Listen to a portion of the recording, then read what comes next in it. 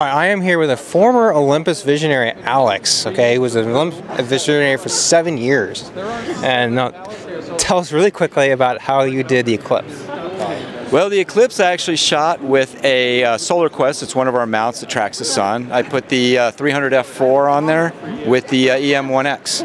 And uh, I was shooting it at seven stops. I was shooting seven stops at 0.7 intervals. And then I was moving through the different ISOs as I was doing that to try to cover a larger range of, get that dynamic range so later I could stack it all together.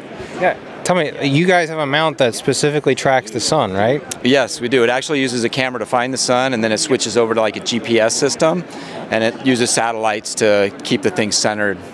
That, that's something I did not know. So. yeah, it's very cool. I actually had my camera on that, and it was running the whole time. We also had a, um, a Esprit 100 set up um, so people could look at it, and as soon as it went to totality, we took that off. So it was amazing to see through the, the scope as well.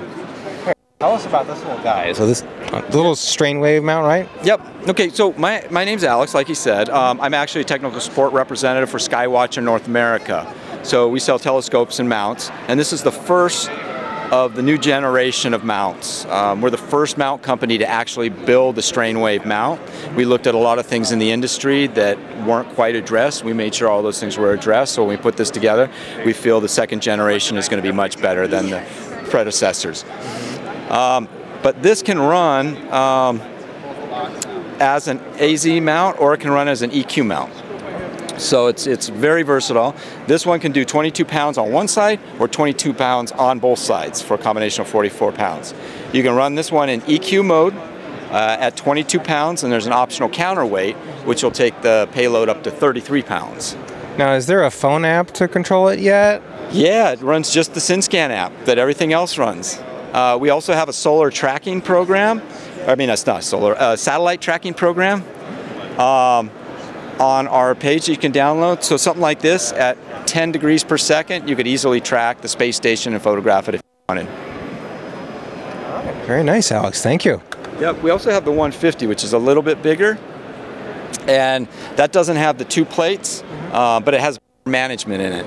That's for a little bit bigger mounts. You can run 33 pounds in EQ or alt, um, and with the optional counterweight and EQ mount, you can run 55 pounds on it.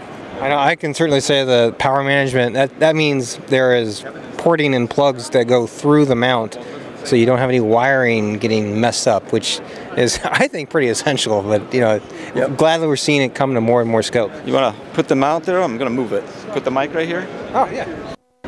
Kind of hear it. I don't know if you're even going to hear it through there, but. So the great thing about running an alt-az like this is if you were tracking a satellite, you could go across the sky and you don't have to do a meridian flip. Mm. Anyways, the new strain waves. Right, awesome, Alex. Thank you. Hey, thank you.